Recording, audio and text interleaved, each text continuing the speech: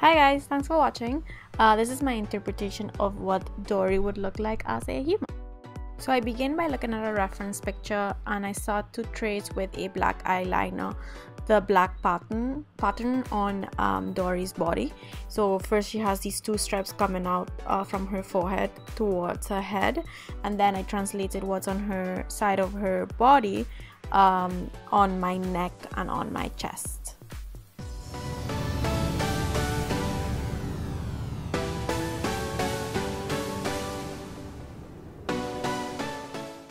I then grab my Paradise Mehron uh, body paints that are water activated and I just paint everywhere that's blue, blue including um, just the center of my hair because she has sort of like a blue stripe going straight up towards her fins at the top.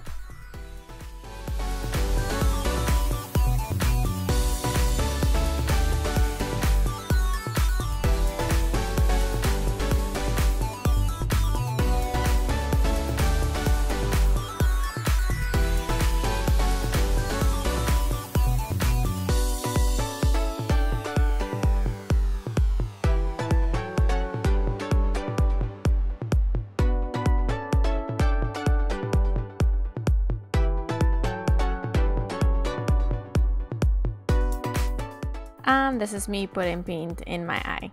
Yeah, it happens.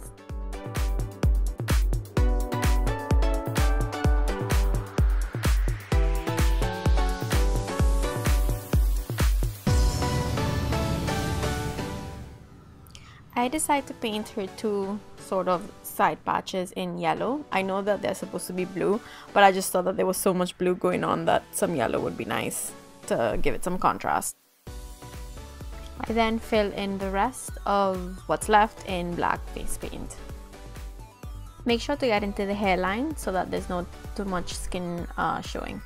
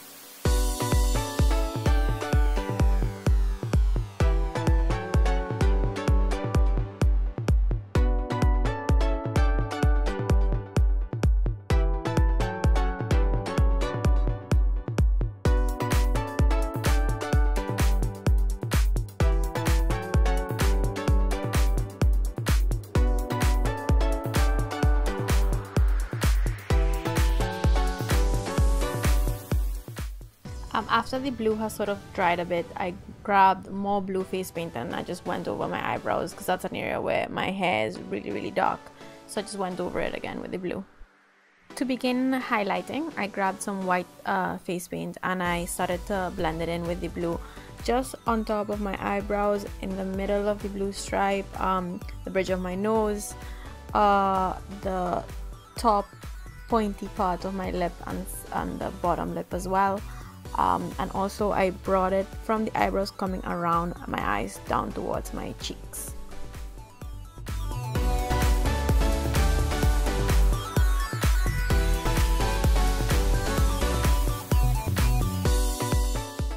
I then used the NYX uh, white eye primer uh, to prime my lids to do some purple and fuchsia eyeshadow work. Um, I chose these colors because Dory's actual eyes, like her pupils, are purple.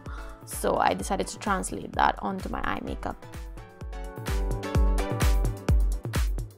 Then grab some black eyeshadow. I used uh, Makeup Geeks Corrupt and I just went over anywhere that was black with a black shadow that just kind of mats it down a bit and just kind of covers up uh, some of the streaks from the painting that will really show up on any picture that you take. Then to continue contouring, I grabbed some dark blue eyeshadow and I just went over my eyebrows, um, the area where the blue face paint and the purple were meeting, just kind of blend that out, uh, the sides of my nose, um, and then I grabbed some brown face paint to do freckles because Dory has really cute freckles on um, and then I continued on with the contouring um, over the freckles just so that it's not so intense and then um, right below I you did the the white um, on the sides of the cheeks and then my jawline down to my neck and really anywhere where the blue and the black would meet so that that line wouldn't be so harsh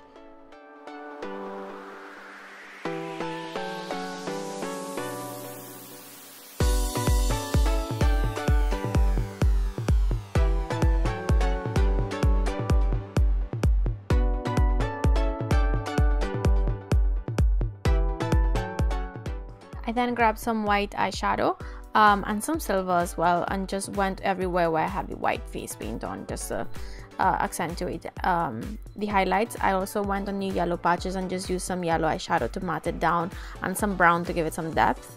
And then over the black I used some silver just to give it a, a, a really shiny like when the fish moves in the water. um, I stuck down my ears with eyelash glue, which I do not recommend you do because it hurts like a bitch when you take it out. Excuse the language. Um, but then I added some scotch tape and it was fine. Uh, with some black eyeshadow, I just kind of tied it all together so you don't really see the gap too much. And there is Dory. Thanks for watching.